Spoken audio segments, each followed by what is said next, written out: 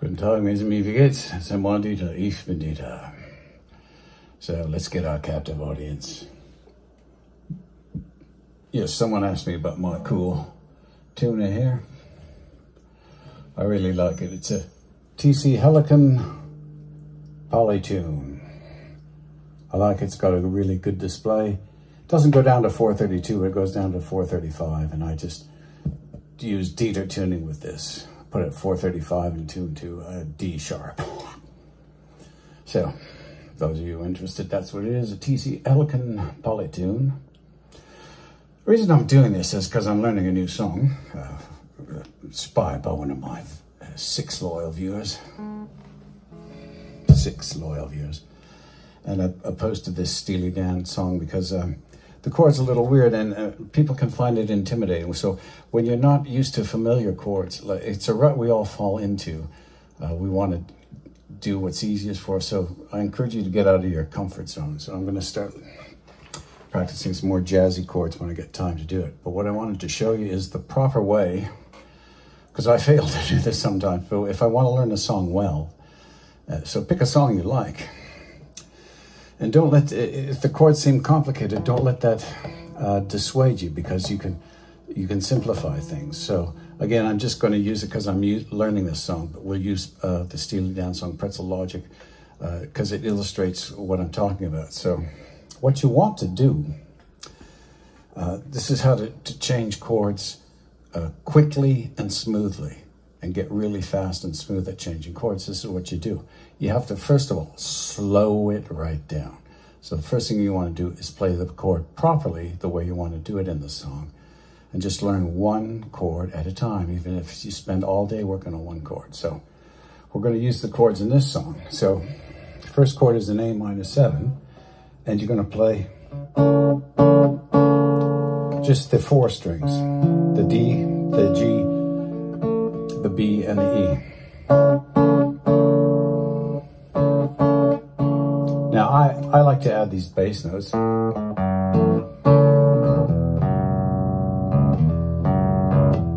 Now, you can do that later, but, uh, you know, once you get more comfortable. But just learn the chord first. So here's is the chord. Now with this song, and I suggest you always learn chords two ways. Learn them, uh, actually three ways. Learn them without a pick. Learn them strumming. Okay, strumming down from the from the bass to the hot to the treble. Strumming back from the treble to the bass with your first finger.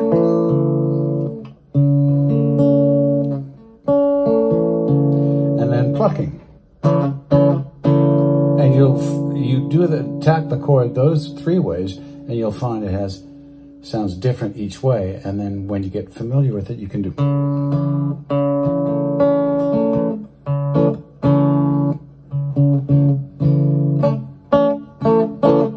You know, strum it all the ways. So that's the first chord. So you learn that. Now you want uh, the second chord which is an F major seventh. Important thing when you're fingering your chords, you want, you don't want your fingers to be on the fret, but you want to be just behind the fret. And each fret, you want to try and get your fingers as close to the fret as possible and not being on it. So now we have two chords. We have this A minor 7 and F major 7. And for this exercise, I'm just going to pluck, like with my, and play these four notes, right? So, so uh, now I'm practicing the F major seven. Now I'm just going to practice really slowly changing between the two. So F major seven, A major, A major, A, A minor seven, A minor seven, F major seven. F major 7, A minor 7.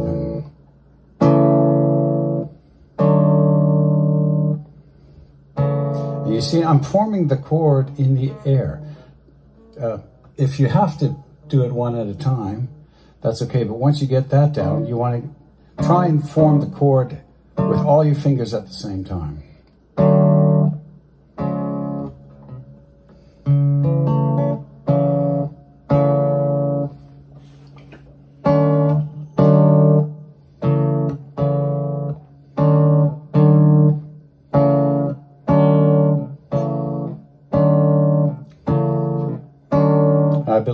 Call this the rule of six, when you can switch between it slowly six times.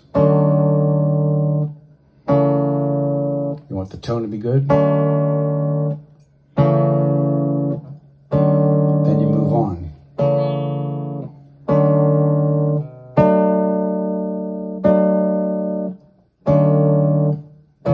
And do them in all orders. Now I'm adding a third chord there.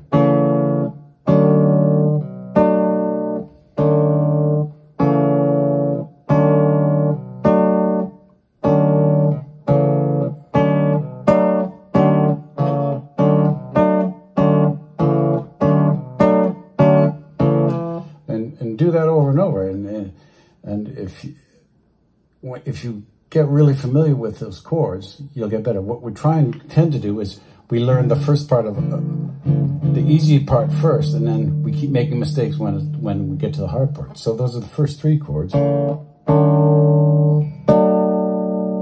And then the next chord is here. And you're changing from here to here. Here to here. It's usually not as complicated or as difficult as you think. You usually overthink it. So just get that down. That's our D, E.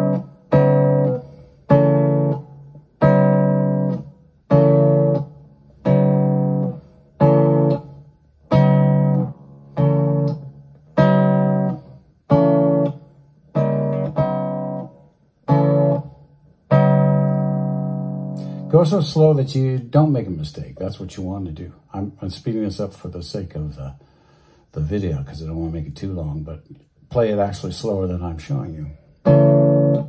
All right? And just practice the, the, the, the change.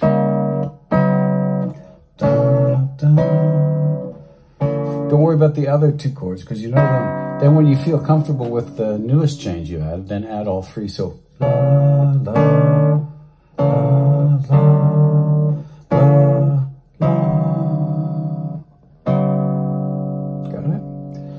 next one gets up here. So we're practicing the D, the DE to the EA.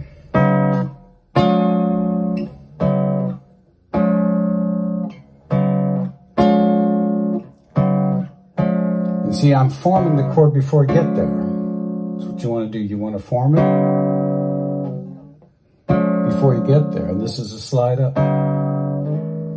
That stays the same. You're just adding this note here.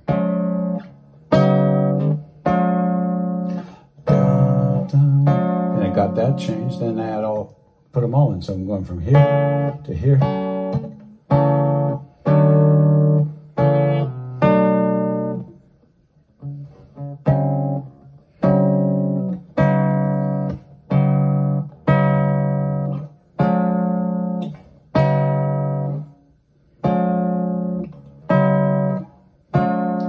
Then here.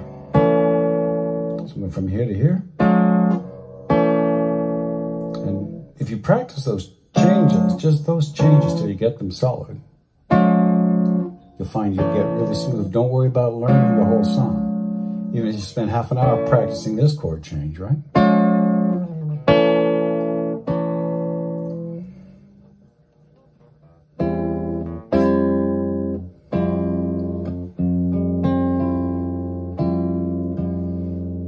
So I'm barring all this, adding the D sharp there oh, sorry, there, barring on the second fret, adding the D and the G. Now a bit awkward, but you can do it. So,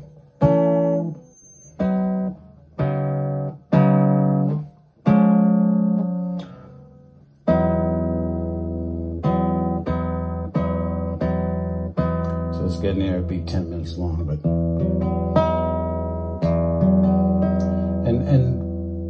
play the chord, get familiar with it, so you sound hear sound all the notes in the chord clearly, and then practice the changes and.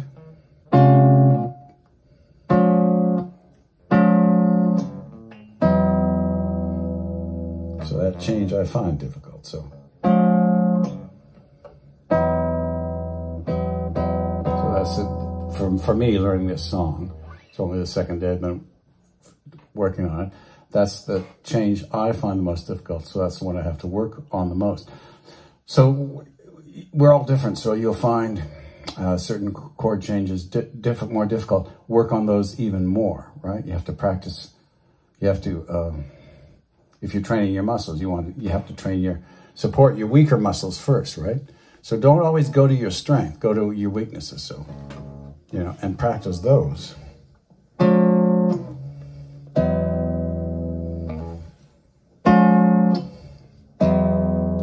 Getting better already just by demonstrating to you for like a few seconds. So ho hopefully that helps. Don't be intimidated if you think the, the chords are complicated. They're not. I mean, uh, you, you can play them if you persevere. So all I'm saying is that uh, don't get ahead of yourself. Slow it down, slow it down. Just change from one chord to the next, one chord, and, and just do the, just keep changing between just two chords. And then when you're comfortable with that, do it in reverse order.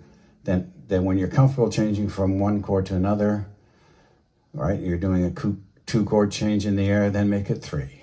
Then when you're comfortable doing three, do four. And if your song has four or five or six or seven chords, or seven or eight or nine chord changes in it, just keep practicing the chord changes, and then you'll find, don't worry about the song if you practice all the chord changes, then when you actually get to the song, it'll be easy peasy. That's the way to do it. And uh, some, we're our, our own worst enemies because we get lazy or we get comfortable. And so keep that in the back of your mind. Just slow it down. Just change from one to the other. Change them in the air and make sure you play them perfectly, really slowly before you go on to the next one and you should have success. And she agrees. See, that's why she's giving me that. Really, Tita Picasso? Yes, really. Wiedersehen. Happy plucking.